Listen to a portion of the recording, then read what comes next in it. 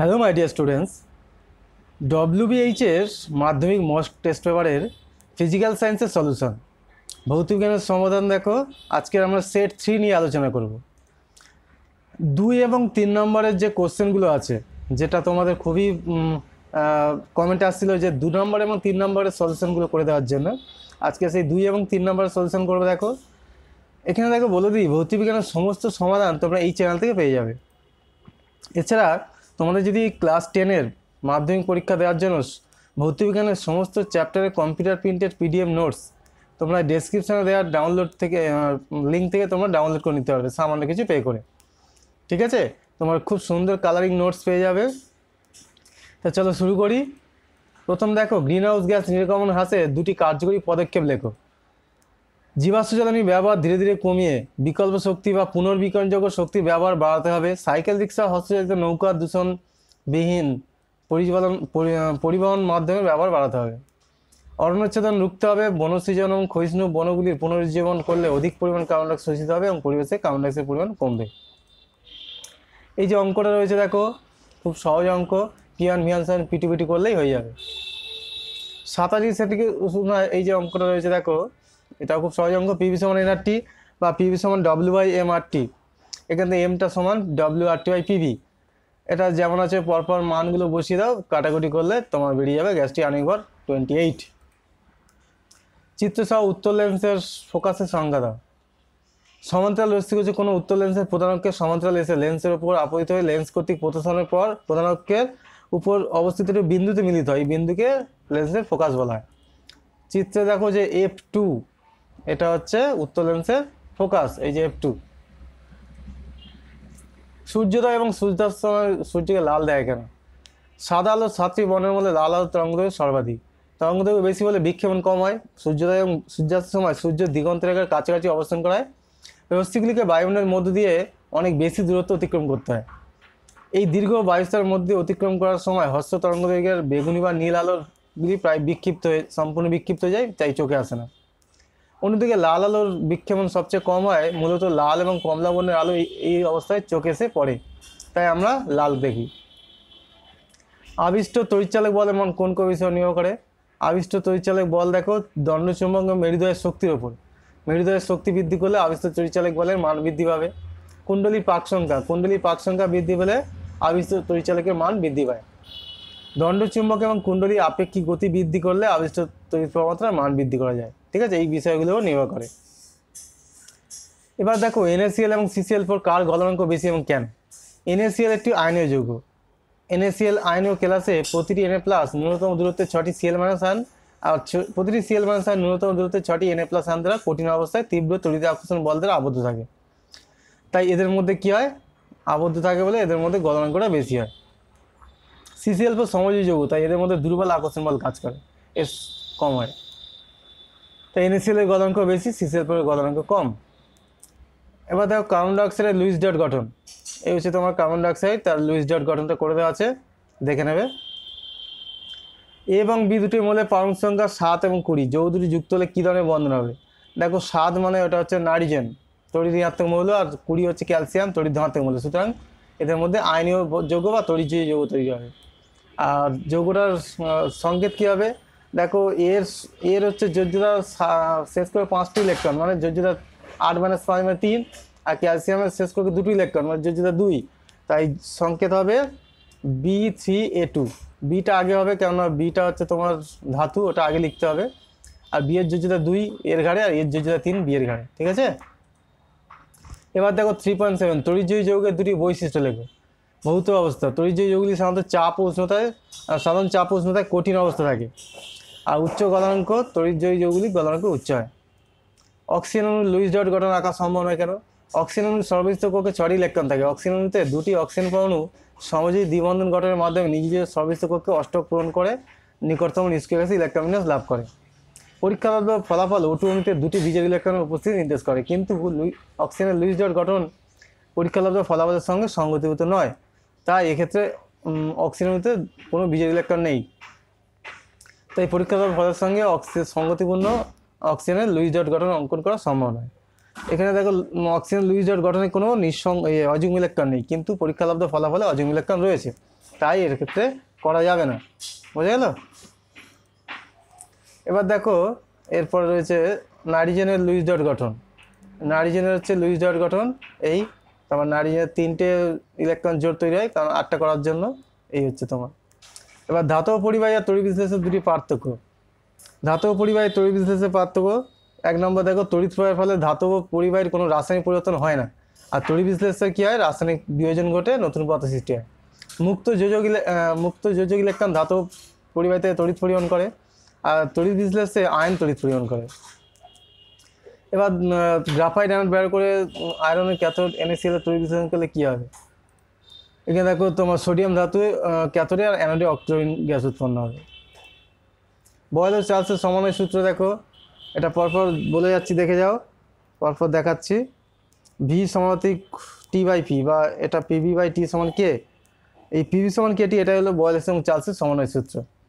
অর্থাৎ নির্দিষ্টভাবে কোনো গ্যাসের চাপ ও আয়তনের গুণফল পরম উষ্ণতা সমানুপাতিক যদি তোমার টি ওয়ান এবং টি টু উষ্ণতায় চাপ পি ওয়ান পি টু আয়তন ভি ওয়ান টু হয়, তাহলে P one V one by T one P two two T two VT লেখচিত্র দেখো উষ্ণতা অক্ষকে মাইনাস দুশো তিয়াত্তর ডিগ্রি সেন্টিগ্রেড উষ্ণতাকে ছেদ করে। এই অঙ্কটা হচ্ছে তোমার করে দিয়েছি, এটা দেখে নেবে।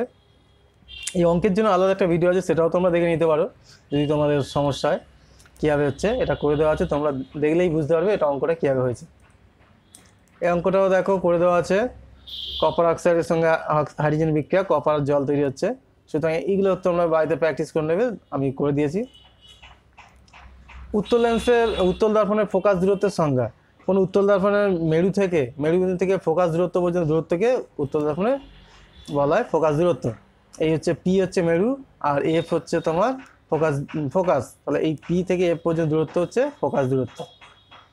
দৃশ্যমান আলোর পাল্লা হচ্ছে চারশো ন্যানোমিটার থেকে আটশো ন্যানোমিটার বা চার হাজার অ্যাংস্টম থেকে আট হাজার অ্যাংস্টম অথবা তিনশো আশি ন্যানোমিটার থেকে সাতশো আশি ন্যানোমিটার বা তিন হাজার আটশো ন্যানো অ্যাংস্টম থেকে সাত হাজার আটশো অ্যাংস্ট্রম রৈখিক বিবর্ধন বলতে কি বোঝায়? কোনো বস্তুর রৈখিক বিবর্ধন টু পয়েন্ট ফাইভ বলতে বোঝায় প্রতিবিম্বের দৈর্ঘ্য বা উচ্চতা ও বস্তুর দৈর্ঘ্য উচ্চতার অনুপাত টু টু পয়েন্ট ফাইভ অর্থাৎ প্রতিবিম্বের দৈর্ঘ্য বা উচ্চতা বস্তুর দৈর্ঘ্য উচ্চতা টু পয়েন্ট ফাইভ গুণ, অথবা প্রতিবিম্ব দূরত্ব বস্তুদের অনুপাত টু পয়েন্ট ফাইভ দন্ত চিকিৎসারা পরীক্ষা নিরীক্ষার জন্য অবতল দর্পণ ব্যবহার করেন।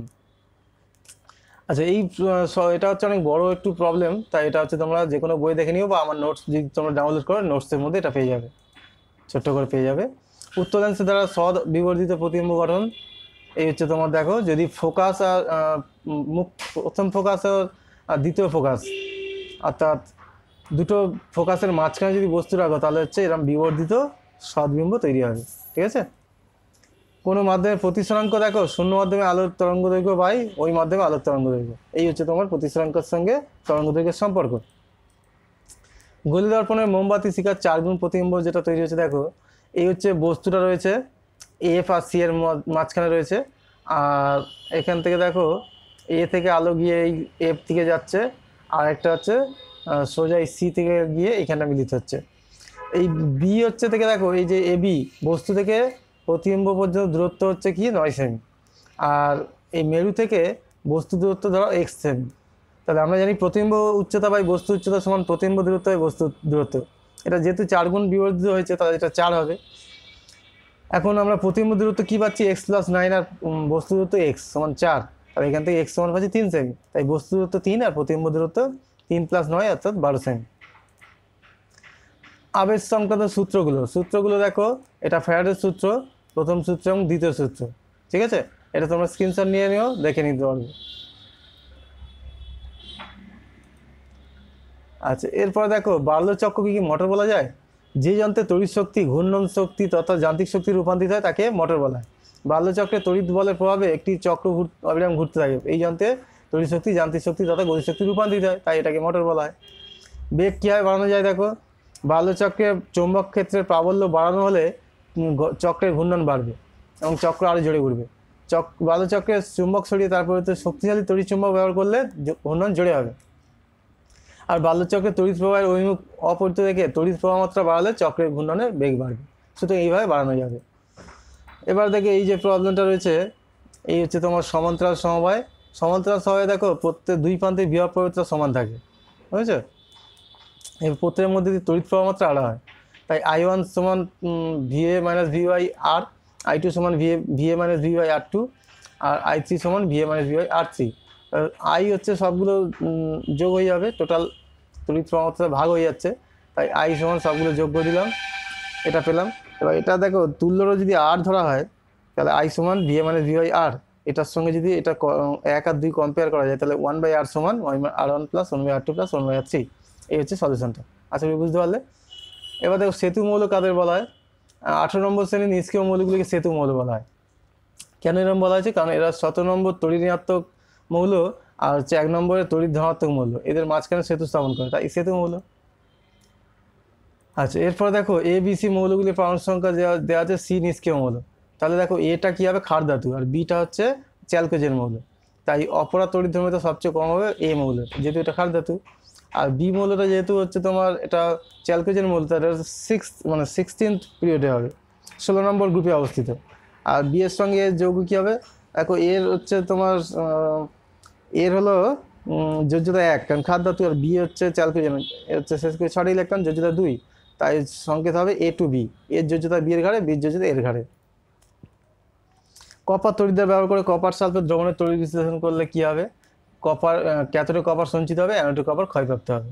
দ্রবণে বিক্রিয়া কপার সালফেট ভেঙে কপার টু প্লাস সালফেট হচ্ছে জল ভেঙে এইচ প্লাস ওই ক্যাথোডে বিক্রিয়া ক্যাথোডে copper two plus ion electron গ্রহণ করে ধাতব কপার হয়ে জমা হবে। আর অ্যানোডে কী হবে? ওই মাইনাস সালফেট কেউ ইলেকট্রন বর্জন করে যাইতে হয় না। পরিবর্তে কপার পরমাণুর সময় ইলেকট্রন ত্যাগ করে কপার প্লাস টু আয়নে যাইতে হয়ে দ্রবণে চলে আসে। এবার আইনীয় যৌগের বিক্রিয়া দ্রুত হয় কেন? আইনীয় যৌগগুলি আইনিত অবস্থায় থাকে। তাই হচ্ছে বিক্রিয়াগুলো দ্রুত হয়। আর এই হচ্ছে তোমার আইন তরিজয়ী যৌগ আর আইনীয় যৌগের মধ্যে তরিজয়ী যৌগ আর সময় যৌগের পার্থক্য, ভৌত অবস্থা, এগুলো সাধারণত কঠিন হয়। আর সময় যৌগগুলো নরম, এগুলো তরল গ্যাসীয় বা নরম হয়। গঠনটা কি? এখানে হচ্ছে অসংখ্য ক্যাটানায়ন বিপরীত আকর্ষণের সুনির্দিষ্ট জ্যামিতিক গঠন করে থাকে আর সময়জীবী কোনো আয়নের অস্তিত্ব নেই, এরা বিচ্ছিন্ন অনুরূপে থাকে। এবার দেখো লোহার চামচের উপর নিকেলের প্রলাপ দিতে কি করবে? ক্যাথোড হিসেবে লোহার চামচ আর ন্যানোড হিসেবে নিকেল পাত আর তৈরি বিশ্লেষ হিসেবে অ্যামোনিয়াম সালফেট ও সামান্য বরিক অ্যাসিড মিশ্রিত নিকেল সালফেটের ঝুলিয়ে দেবেন তড়ি বিশ্লেষণ পদ্ধতিতে অ্যালুমিনিয়াম ধাতু নিষ্কাশনের তড়ি বিশ্লেষক ক্যাথোড অ্যানোড কী কী নেবে? তড়ি বিশ্লেষণ পদ্ধতি অ্যালুমিনিয়াম ধাতু নিষ্কাশনের ক্যাথোড অ্যানোড এবং হিসেবে গ্রাফাইটের দ্বন্দ্বে তড়ি বিশ্লেষ হিসেবে twenty sixty percent cryolite twenty percent fluorspar এবং টোয়েন্টি পার্সেন্ট বিশুদ্ধ অ্যালুমিনিয়াম মিশ্রণ ব্যবহার করা হবে। ঠিক আছে? তো আশা করছি তোমাদের ভিডিওটা ভালো লেগেছে। কেমন লাগল কমেন্ট করে জানিও। তোমাদের যদি আরও ভিডিও এরকম দরকার হয়, সেটার জন্য কমেন্ট করো। তোমাদের যদি কমেন্ট বেশি হয়, অবশ্যই আমরা পরবর্তী ভিডিও ছাড়বো। ঠিক আছে? তোমাদের কমেন্ট এবং লাইক আমাদেরকে উৎসাহিত করে। সুতরাং তোমরা অবশ্যই কমেন্ট করো, তাহলে আমি অবশ্যই তোমাদের নতুন আরও ভিডিও এরকম দিতে থাকব। ওকে তাহলে আজকে এখানে রাখছি।